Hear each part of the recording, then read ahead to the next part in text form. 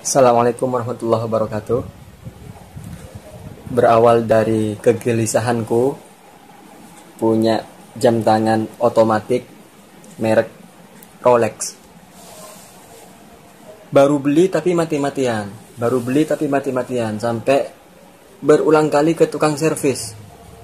Bayar 20.000. Dua hari setelahnya mati lagi ke tukang servis lagi, mati lagi ke tukang servis lagi. Terus seperti itu hingga saya merasa malu lalu saya cari tahu akhirnya ternyata mudah.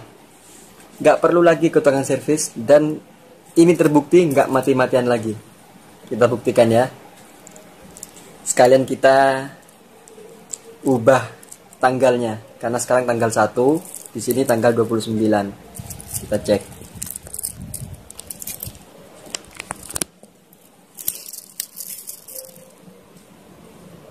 ini mereknya Rolex. Sekarang ini tanggal 29 sedangkan pada sesungguhnya pada dasarnya kita sudah hidup di tanggal 1 maka harus dirubah. Kita tarik ini. Tarik satu kali aja. Ini kan ada dua kali tarikan. Tarikan kedua itu untuk mengubah jarum jam. Tarikan pertama mengubah tanggal.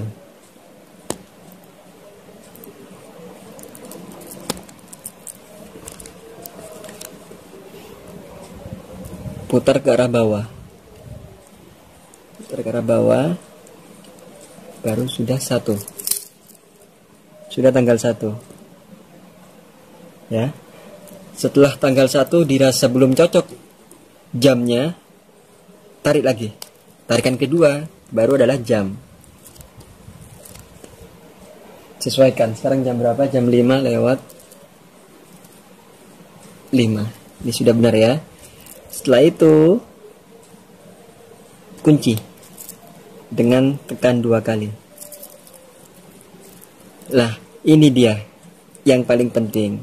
Agar jam metik ini tidak mati-matian setelah jamnya sudah diatur sesuai dengan jam sesungguhnya, tanggalnya juga sudah benar, maka yang terkunci tadi diputar ke arah atas.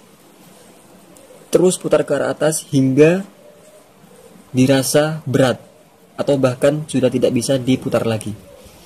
Putar berlawanan arah jarum jam. Kalau tadi menyetel jam itu ke arah bawah, ini ke arah atas. Terus putar ke arah atas. Sampai dirasa berat. Nah, ini. Nah, kalau sudah dirasa berat, ini tanpa digoyang-goyang pun akan jalan terus ini. Ini bertahan dua hari. Dan ini terbukti di jam Rolex. Kemungkinan juga terbukti bisa digunakan di dicoba di jam tangan-jam tangan merek lain asal otomatis. Nah, caranya bagaimana agar tidak mati-matian lagi? Ketika setelah dirasa sudah mau dua hari, diputar lagi ini. Nggak perlu nggak perlu ubah jamnya lagi, cukup diputar, diputar ke arah ke atas. Terus ini terbukti. Sekarang selamat tinggal servis. Itu keluhan saya. Mudah-mudahan teman-teman yang juga memiliki keluhan seperti saya teratasi, terobati dan nggak galau lagi lah. Saya sempat galau ini. Terima kasih mudah-mudahan bermanfaat. Assalamualaikum warahmatullahi wabarakatuh